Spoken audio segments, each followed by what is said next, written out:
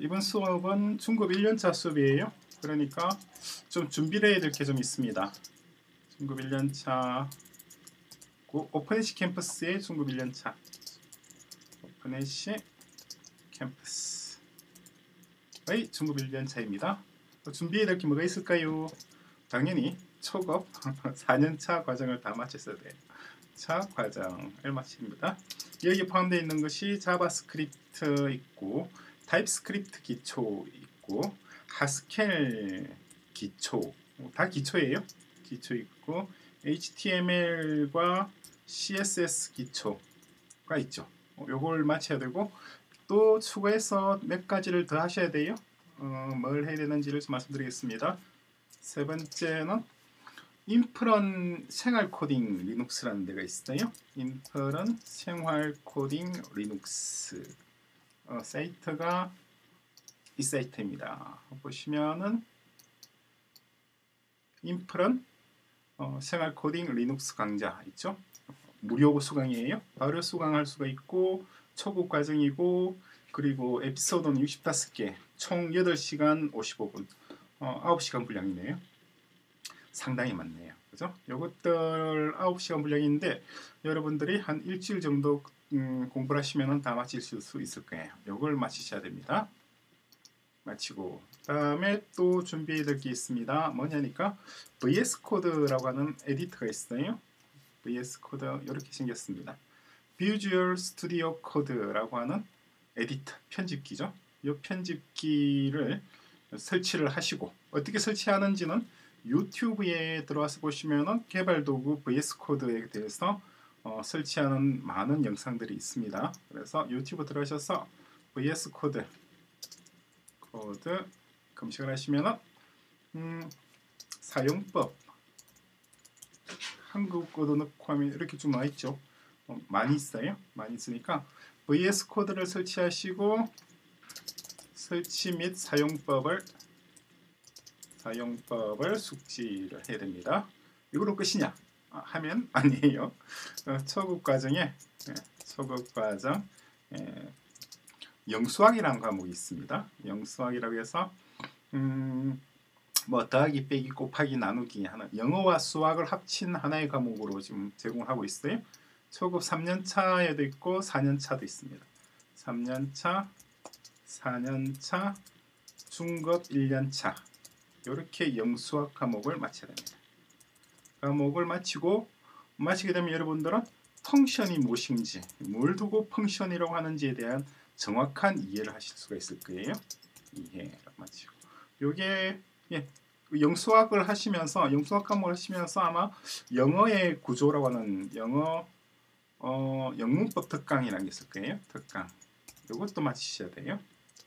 그리고 그리고 이, 마찬가지 이거는 이제 바람직하게 권장하는 겁니다. 권장인데 바로 하기는 힘들지는 몰라요. 중급 1년차, 2년차 예, 어, 영어의 구조라고 하는 강좌가 있어요. 이것도 오픈에시 캠퍼스 지금 말씀드리는 것 중에서 이것은 오픈에시 캠퍼스가 아니고 어, 외부에 있는 강좌를 제가 추천해드리는 거고 나머지들은 다 오픈에시 캠퍼스 강의로 다 올라가 있습니다. 이것도 가능하면은 근데 좀 어려울 거예요. 2년 차는 좀 어렵고 1년 차는 좀 쉬울 거예요. 그래서 영어의 구조도 공부를 하셔야 됩니다. 그렇게 하셔서 이렇게 준비가 다 되고 나면은 그 다음 단계로 에피소드를 끊으시면 됩니다. 왜냐니까 우리가 책을 공부를 할 거잖아요. 그런데 이게 다 영어로 되어 있잖아요. 그런데 이 영어로 되어 있는 책들을 보면서 제가 하나씩 하나씩 어, 설명을 하면서 진행하게 될 텐데 한 문장을 읽고 그것을 해석하고 다음 문장으로 넘어가는 게 아니라 그냥 그냥 저는 한국어 보듯이 보면서 어, 저는 설명을 해 나가게 될 겁니다. 그러면 여러분들은 어, 제가 설명하는 내용도 듣고 그리고 요즘 자동 번역 기능 구글 번역 기능이 잘 되어 있잖아요. Google Translate로 translation 버튼을 클릭하면은 이게 어떤 말인지 번역 결과가 이렇게 딱 나와요. English고 결과되는 언어는 Korean Korean K O R E A N 그죠? 녹을 배, 좀 배우자. 네. 아, 녹은 어, 녹이 아니에요. 어, Rust. 이거 이거 녹을 좀 배우자. 이것을 추천 여러분들이 추천하시면은 이걸 또 다른 걸로 바꿀 수도 있어요. Rust를 배우자. Improve this translation 돼 있잖아요. 이 버튼 클릭하고 그런 다음에 녹을 좀 배우자가 아니라 Rust를 배우자. 그죠? 어, 됐습니다. 다음에 submit 하면은 그 다음부터는 녹이라 그러지 않고 아마 Rust라고 뜨게 될 거예요. 그래서 뭐 한국어로 아주 슬, 잘 해석이 깔끔하게 잘 나옵니다. 여기 있는 거 보시면은 어, 이 원문의 내용도 이해를 하실 수가 있고 그리고 오른쪽 버튼을 클릭해서 제 경우에는 스피치란 게 있어요. 스피치 클릭을 하면 Let's learn some Rust. For our first project, we will implement a classic beginner programming problem, 어, the guessing game. Here's how it works. Our program will generate a random integer between 1 and 100. It will then prompt us to enter a guess. Upon entering our guess, it will tell us if we're too low or too high. Once we guess correctly, 어쩌다 보니까 제가 너무 길게 블록을 설정해서 어, 본의 아니게 꽤 오랫동안 들었습니다. 자 이렇게 해서 영어로도 듣고 음, 그리고 또 해석도 하고 여기 있는 문장들을 여러분들이 바로 다 이해를 하실 수 있어야 돼요. 왜 그러냐니까 중급 1년차 수업이잖아요. 지금이 중급 1년차 수업인데 중급 1년차까지는 주로 한국어 수업, 주로 한국어 강좌를 이용을 하지만은 중급 2년차부터는 어, 한국어 강좌와 영어 강좌 를 섞어서 또 공부를 하게 돼요. 그래서 학습하면서 계속해서 어떤 영어 강좌를 듣고 다음 에피소드로 넘어오라고 이렇게 얘기를 하게 됩니다. 그러면 여러분들 예를 들어서 제가 중급 2년차에 들어가서 Rust의 concurrency, 커런시를